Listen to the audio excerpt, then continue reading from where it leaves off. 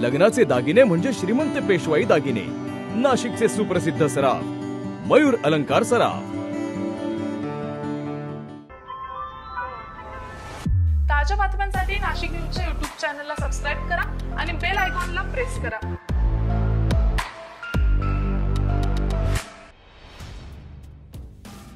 नाशिक शहरातील सिद्धपिंपरी या गावात उपाध्ये कॉलेजच्या समोर गोरक्षनाथ यांचे भव्य मंदिराचे उभारणीचं काम सुरू झालेलं आहे.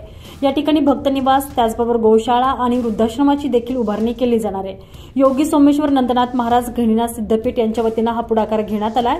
दरम्यान या शुभ कार्यासाठी नाशिककरांनी दानशूरांनी सडळ हातानं मदत करावी असं आवाहन सोमेश्वर नंदनाथ महाराज यांनी नाशिक न्यूजशी बोलताना केलेलं आहे.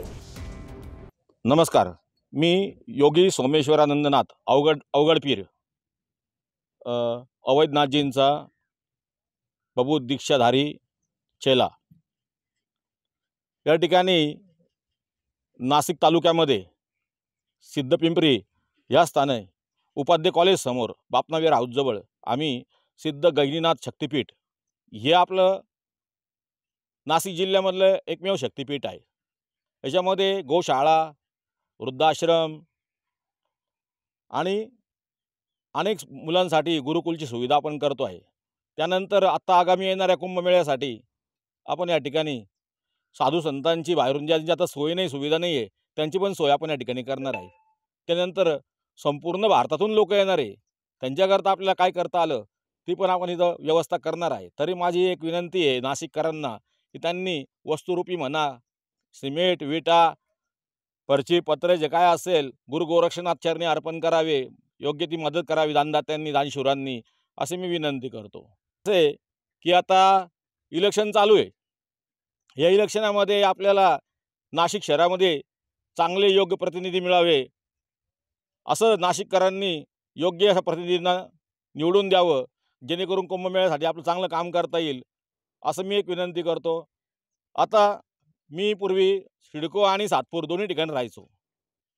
या परिसरात मी चांगला अभ्यास केला असता ध्रुवनगर श्रमिकनगर आणि शिवाजीनगर या ठिकाणी दिनकर पाटील यांनी फार चांगले कामं केले.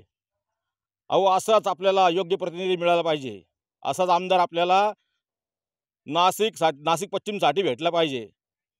मागे बी लोकसभेच्या काळामध्ये अनुकूल परिस्थिती होती दिनकर पाटलाला निवडून येण्याची. परंतु पक्षाने त्यांना तिकीटच दिलं नाही. त्यांनी पूल तयारी केली होती. आणि तसं वातावरण होतं. दिनकरांना पाटील आपले खासदार झाले असते. परंतु काय पक्षाने त्यांना काही हेच केलं नाही. दरवेळेस त्यांना त्यांनी तयारी करावी. पक्ष त्यांच्यासाठी काही फायदा करून देत नाही. तर मी पक्षाच्या वरिष्ठ त्यांना हे सांगतो की त्यांनी यावेळेस विचार करावा दिनकरांना पाटलाचा. काय? पुष्कळ ठिकाणी. आज त्यांनी आपलं श्रमिकनगर शिवाजीनगर आणि ध्रुवनगर याचं नंदनवन करून टाकलेलं आहे. अनेक नाना प्रकारचे मंदिरं बांधले. नानापूर जलकुंभ बांधले. प्रत्येक समाजासाठी कार्य केलं. असंच कार्य आपल्या पश्च नाशिक पश्चिमसाठी व्हावं. पूर्ण मतदार सु सुजलम सुफलम व्हावा. आणि कुंभमेळ्यासाठी येणारा निधी आपल्या मतदारसंघात वापरला यावा. चांगलं कार्य व्हावं म्हणून दिनकरांना पाटील हेच आपल्याला एकमेव नाव आहे. तर माझ्या सर्वांना नाशिक पश्चिममधील सर्व माता भगिनींना विनंती आहे कुठल्याही याला याला बळी पडू नका. दिनकरांना पाटलालाच मतदान करा.